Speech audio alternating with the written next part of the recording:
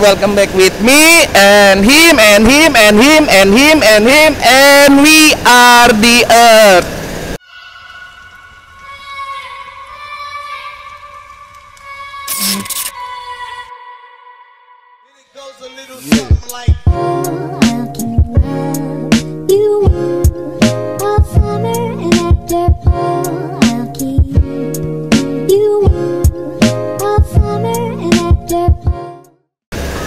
Jadi hari ini mumpung kita agak senggang, topik kita hari ini adalah how to install your anti sway bar, strut bar, dan bar bar bar bar bar yang penting bukan barang barbar ya. Jadi ini langsung aja, ini gua kan punya expander eh, tahun 2018 atau 19 ya Jet ya? Ya segitulah.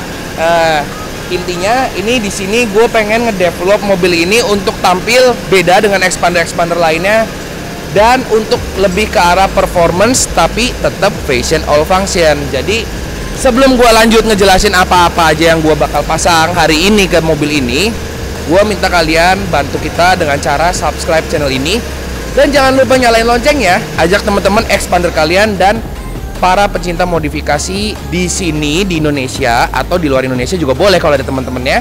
Dan tentunya kita ada 5 Instagram yang bisa kalian follow. Uh, jadi kepo-kepo kerjaan kita seperti apa itu ada semua di Instagram dan pembelian part pun kita bisa via Tokopedia dan pastinya trusted guys itu. Oke langsung aja ke topik. Jadi uh, gue setengah belum apal sebenarnya ini barang-barangnya apa aja. Yang jelas gue pasti akan kasih tahu ke kalian. Ini ada empat item. Yang pertama yaitu front bar alias strut bar depan ya. Front bar itu ini guys. Nah, ini dia front bar, strut bar. Ya, gua di sini pakai merek Ultra Racing yang konon katanya strut bar ini tuh yang paling terbaik ya untuk mobil-mobil zaman now gitu gue nggak bukan promosi tapi yang jelas ini mobil gue baru nemuin cuman ultra racing gitu yang ada di untuk mobil expander. Jadi gue langsung aja ambil nih semuanya yang ada untuk expander gue ambil. Oke gitu. Itu item pertama strut bar depan alias front bar. Yang kedua front lower bar. Front lower bar yaitu yang ini.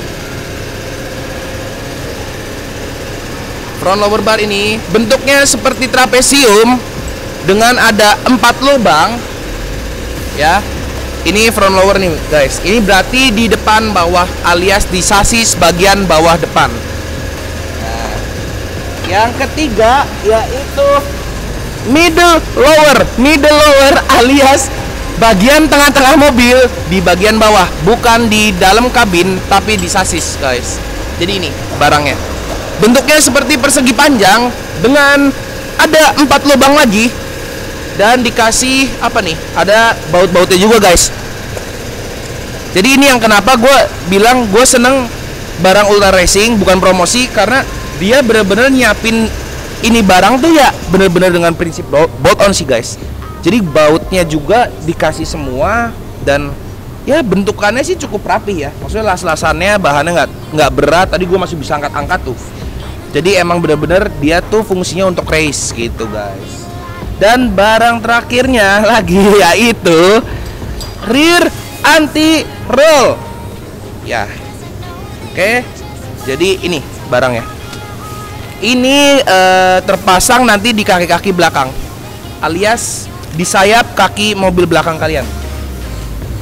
Nah jadi kan kalau misalkan mobil ngolong juga kalian apa ya kita di tempat cuci kalau nggak lagi apa naik-naik ke basement turunan basement kelihatan pasti kayak kaki bawah anda sudah ada putih-putihnya agak sedikit fashion juga sih tapi tentunya fashion all function jadi akhirnya gue sikat nih semua nih barangnya sampai ya kita pasang hari ini dan berhubung di sini panas gue langsung aja naikin ke lift Oke ini biar lebih jelas daripada mungkin celotehan-celotehan omongan gue kurang jelas ada di sini.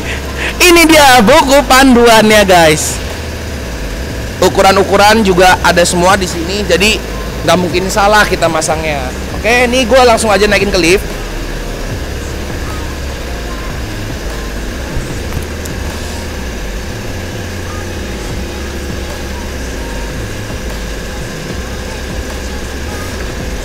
Kebalik! Kebalik!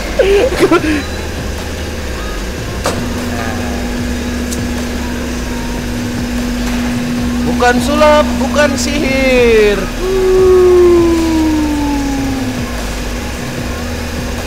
Oke, jadi langsung aja kita berhubung masangnya yang paling susah dulu.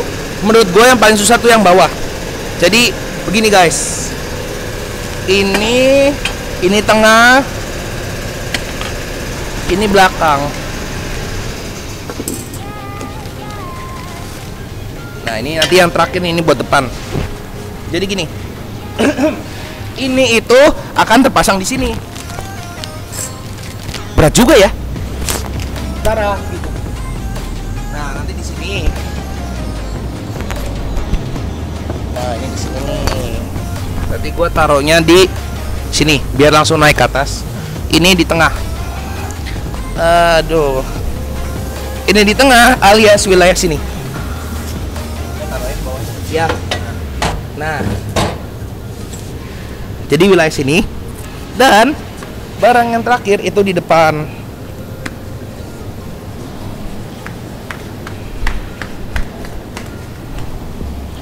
Oke. Di wilayah sini guys. Agak repot. Mungkin langsung aja nonton aja cuplikannya.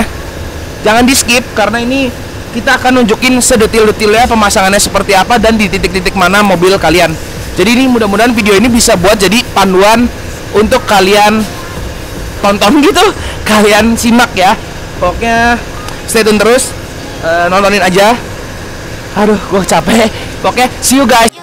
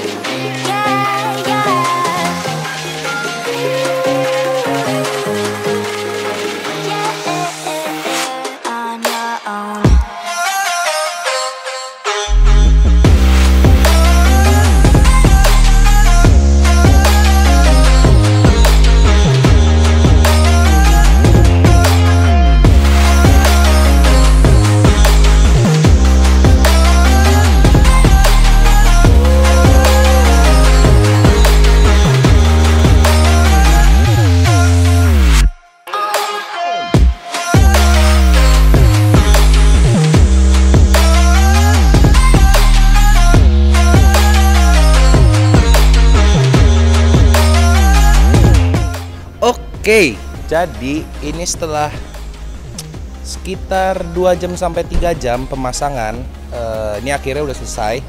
Tampilannya mungkin tadi ada di cuplikan-cuplikan ini sebelumnya. Buat yang pengen lihat detail, boleh coba diulang lagi nontonnya. Titik-titik mana aja dan posisi-posisi mana aja. Eh, pokoknya gini, kalau yang untuk eh, front strut bar itu mungkin nggak terlalu kelihatan ya, tapi bisa dilihat langsung di daerah sininya tuh ada sedikit kayak tiang putih-putih dan cukup melepas dua baut per sisinya jadi itu pemasangannya nggak cukup capek lah ya. Eh, oke lah. Jadi kita cuman butuh membongkar cover plastik nih di dekat dudukan shock breaker ya. Jadi fungsinya strut bar itu untuk membuat satu posisi mobil jadi kayak lebih rigid guys. Lebih rigid rigid itu bukan berarti harus yang terlalu kencang tapi lebih eh, tepatnya namanya dudukan titik tumpu shock breaker itu pasti bergerak kalau terkena guncangan. Dan fungsinya strut bar itu adalah untuk menahan si ruang shock breakernya jadi kayak satu keseluruhan bagian body yang tidak terpisahkan. Karena strut bar yang eh strut bar dudukan shock breaker kiri dan kanan itu kan tidak ada pemegang tiang titik tengahnya untuk penguatnya itu nggak ada.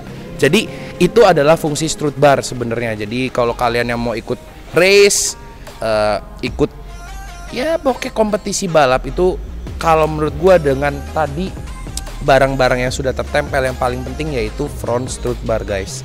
Gitu. Jadi eh, mungkin cuplikan-cuplikannya tadi udah kita open semua ke kalian. Kita udah kasih sedikit informasi cara pemasangan strut bar ke Mitsubishi Expander. Dan jangan pernah takut dengan eh, Expander Cross juga. Mungkin ya ini basicnya sama gitu guys. Jadi ini bisa kalian terapkan juga di Expander Cross. Bila kalian user dari Expander Cross itu bisa menonton video ini. Dan tentunya boleh kalian juga eh, share video ini ke teman-teman kalian yang pengen pemasangan strut bar ultra racing di mobil Expander gitu guys. Dan apa ya mungkin gue sedikit kasih info juga yang paling sulit di pemasangan ini nih yang bagian bawah karena kalian itu bener-bener harus apa ya memposisikan baut-bautnya itu tuh terpasang dengan kencang gitu. Karena sasis bawah itu emang kita tahan dengan strut bar yang bawah lower bar atau middle yang setengahnya. Tapi kalau bautnya itu tidak terpasang dengan kencang otomatis ya nggak berfungsi gitu guys. Jadi pemasangan juga harus menggunakan kunci torsi. Itu pelajaran kita hari ini untuk expander yang memasang poin-poin strut bar. Ada empat titik. Jangan lupa kalau tadi mau perhatikan boleh ulang-ulang terus videonya karena ini mobilnya sudah selesai gitu guys. Ya mungkin topik gua segini dulu. Jika ada yang bertanya boleh komen di bawah dan bantu subscribe jangan lupa karena kita ke depannya juga akan lebih memunculkan beberapa edukasi tentang modifikasi di channel ini. Dan ajak teman kalian juga kalau yang suka modif yang suka motor mobil boleh karena kita ke depan juga ada channel untuk motor di Earth. Jadi keep stay tune dan 30k jangan lupa ini mobil nanti pasti tetap gua hancurin. Nah, kalau yang di hal-hal seperti tadi itu mungkin awal mula dari kita pemanasan di sini gitu guys. Pokoknya ke depannya kita akan menghasilkan topik-topik yang jauh lebih menarik. Mudah-mudahan menarik juga buat kalian ya jadi jangan lupa ajak teman kalian subscribe karena subscribe itu gratis. Dan Instagram kita ada 5 ada di sini semua. Jadi kalian juga kalau mau lihat foto-foto atau video kabar-kabar terbaru dari Earth Auto Concept itu semua ada di situ. Grupnya itu 5 Eh, pokoknya mungkin today topik gua segini dulu. Thank you for watching and be the best on earth guys. See ya